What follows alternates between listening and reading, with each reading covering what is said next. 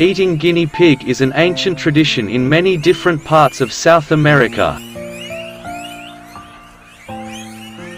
In Peru alone, around 65 million guinea pigs are eaten every year. In Western society, the guinea pig has enjoyed widespread popularity as a pet.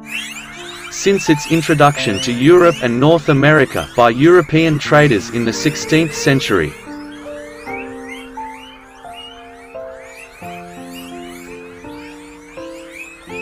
Their docile nature, friendly responsiveness to handling and feeding, and the relative ease of caring for them have made guinea pigs a continuing popular choice of household pet.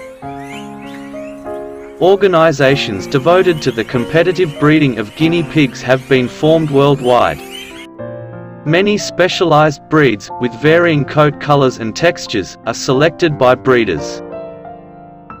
Livestock breeds of the guinea pig play an important role in folk culture for many indigenous Andean peoples, especially as a food source. The animals are also used in folk medicine and in community religious ceremonies. They are raised for their meat and are a culinary staple in the Andes Mountains, where they are known as cuy. In the 1960s a modern breeding program was started in Peru that resulted in large breeds known as cuy mejorados improved cuy. Marketers tried to increase consumption of the animal outside South America. Regionally known as cuy, the guinea pig was first domesticated as early as 5000 BC for food by tribes in the Andean region of South America the present-day southern part of Colombia, Ecuador, Peru, and Bolivia, some thousands of years after the domestication of the South American camelids. Guinea pigs are large for rodents, the common pet breeds weigh between 700 and 1,200 grams 1.5 and 2.6 pounds when fully grown and measure between 20 and 25 centimeters in length. Some livestock breeds weigh 3 kilograms when full grown. Pet breeds live an average of 4 to 5 years, but may live as long as 8. According to Guinness World Records, as of 2006, the longest-lived guinea pig was 14 years, 10 months, and 2 weeks old. Most guinea pigs have fur, but one laboratory breed adopted by some pet owners, the skinny pig, is a mostly furless breed. Some breeds are long fur breeds such as the Peruvian, the Silky, and the Texel. Guinea pigs can learn complex paths to food, and can accurately remember a learned path for months.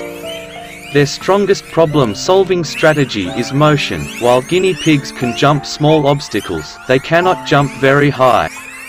Most of them are poor climbers, and are not particularly agile. They startle easily, and when they sense danger either freeze in place for long periods, or run for cover with rapid, darting motions. Domestic guinea pigs generally live in cages, although some owners of large numbers of cavies dedicate entire rooms to their pets. Wire mesh floors can cause injury and may be associated with an infection commonly known as bumblefoot ulcerative pododermatitis. So cages with solid bottoms, where the animal walks directly on the bedding, are typically used. The guinea pig's natural diet is grass, their molars are particularly suited for grinding plant matter and grow continuously throughout their life. Most mammals that graze are large and have a long digestive tract. Guinea pigs have much longer colons than most rodents, but they must also supplement their diet by eating their feces coprophagy.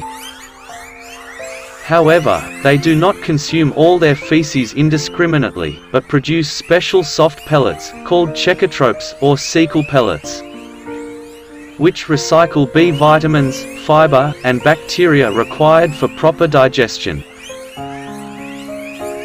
Guinea pigs benefit from a diet of fresh grass hay, such as timothy hay, in addition to food pellets which are often based on timothy hay. Alfalfa hay is also a popular food choice and most guinea pigs will eat large amounts of alfalfa when offered it. Though some controversy exists over offering alfalfa to adult guinea pigs.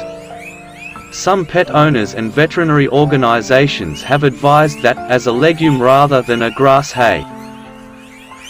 Alfalfa consumed in large amounts may lead to obesity, as well as bladder stones from the excess calcium in all animals except for pregnant and very young guinea pigs.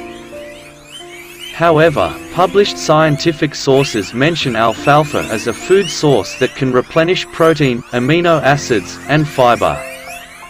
Males boars reach sexual maturity in 3 to 5 weeks. Similarly, females sows can be fertile as early as 4 weeks old and can carry litters before they are fully grown adults. A sow is able to breed year-round, with spring being the peak. A sow can have as many as 5 litters in a year, but 6 is theoretically possible. Unlike the offspring of most rodents, which are altricial at birth, newborn cavy pups are precocial, and are well developed with hair, teeth, claws, and partial eyesight.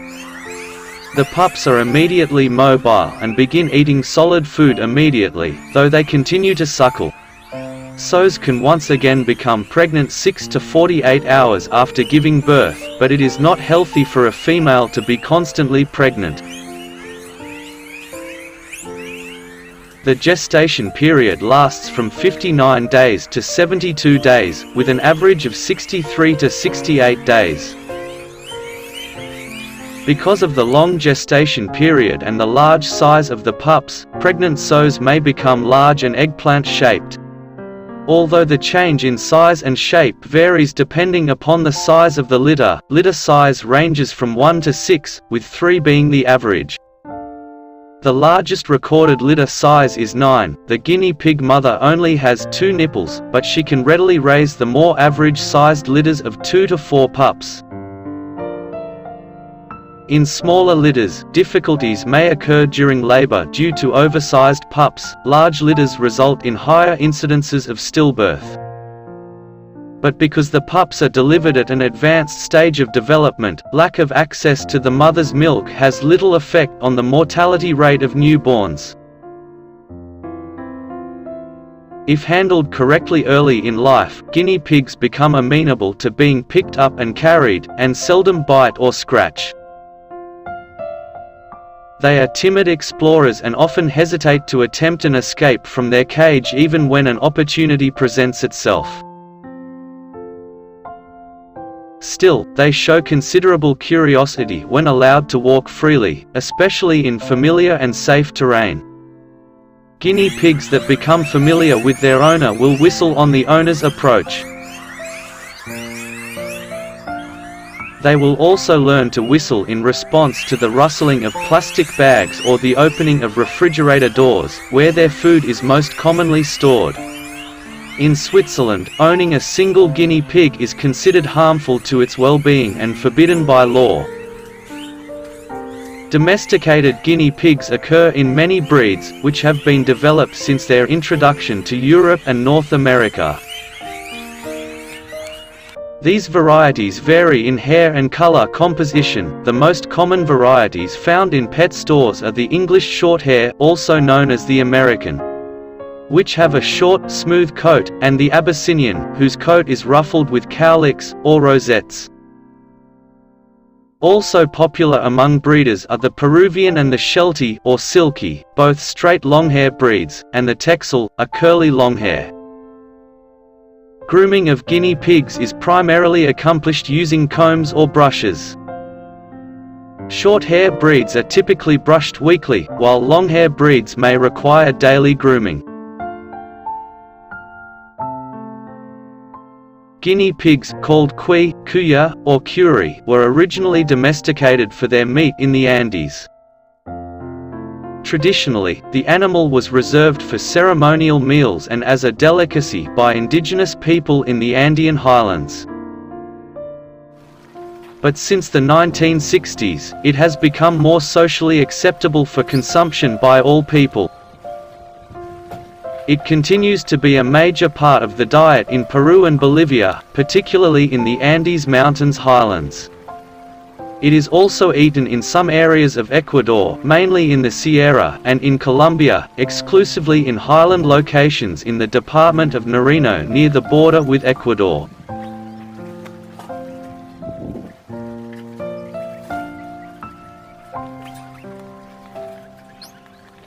They are a more profitable source of food and income than many traditional stock animals, such as pigs and cattle. Moreover, they can be raised in an urban environment. Both rural and urban families raise guinea pigs for supplementary income, and the animals are commonly bought and sold at local markets and large-scale municipal fairs. Guinea pig meat is high in protein and low in fat and cholesterol, and is described as being similar to rabbit and the dark meat of chicken. The animal may be served fried chactado or frito, broiled asado, or roasted al horno.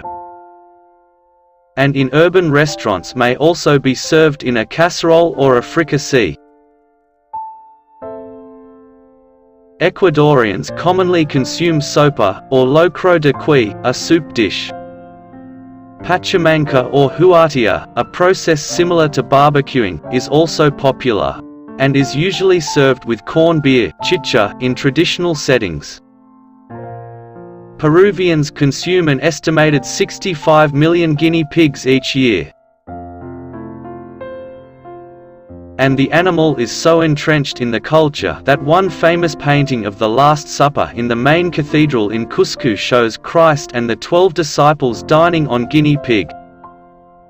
The animal remains an important aspect of certain religious events in both rural and urban areas of Peru. A religious celebration, known as Jaca collecting the cuys, is a major festival in many villages in the Antonio Raimondi province of eastern Peru, and is celebrated in smaller ceremonies in Lima. It is a syncretistic event, combining elements of Catholicism,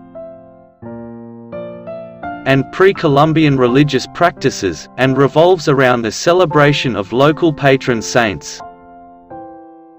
The exact form the Jaca takes differs from town to town. In some localities, a sirvinti servant is appointed to go from door to door, collecting donations of guinea pigs, while in others, guinea pigs may be brought to a communal area to be released in a mock bullfight. Peruvian research universities, especially La Molina National Agrarian University, began experimental programs in the 1960s with the intention of breeding larger-sized guinea pigs. Subsequent university efforts have sought to change breeding and husbandry procedures in South America, to make the raising of guinea pigs as livestock more economically sustainable. The variety of guinea pig produced by La Molina is fast growing and can weigh 3 kilograms 6.6 pounds.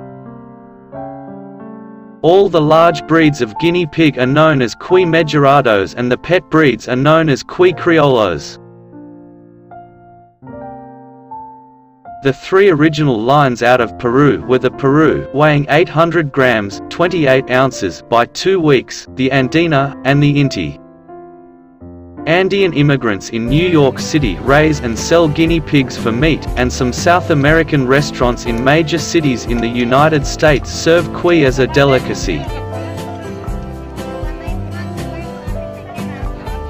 In the 1990s and 2000s, La Molina University began exporting large breed guinea pigs to Europe, Japan, and the United States in the hope of increasing human consumption outside of countries in northern South America.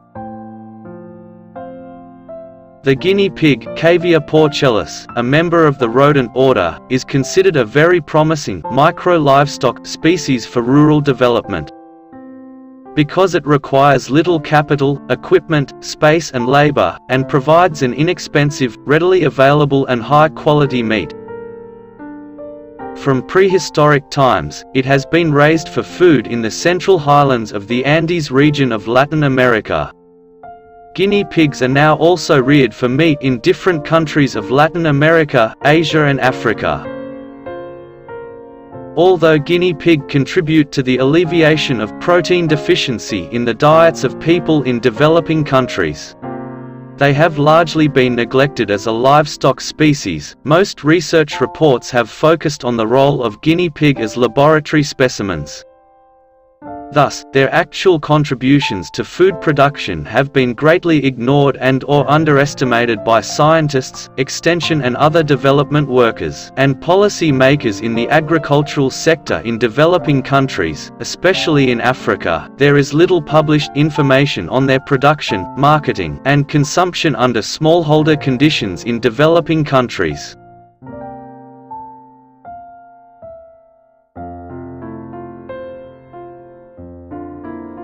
In West Africa, much of the work on smallholder guinea pig production has been done in Cameroon.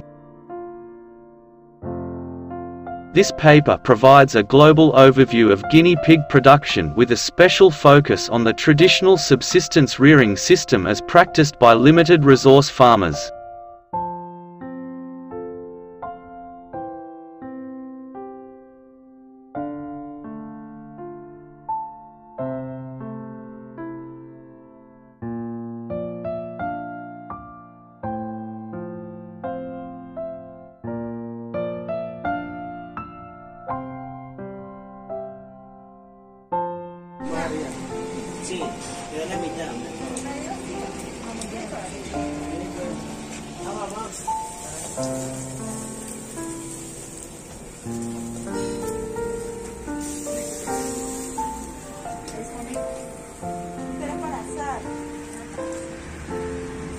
The guinea pig, Cavia porcellus, a member of the rodent order, is related to the wild and semi-domesticated caviae as found in the mountains and grasslands of Bolivia, Colombia, Ecuador and Peru. The name guinea pig is generally thought to have originated some centuries ago as British sailors carried this curiosity specimen, resembling a young pig, from South America to Britain, through the port of Guinea, West Africa. This may explain how this animal got the name guinea pig in English.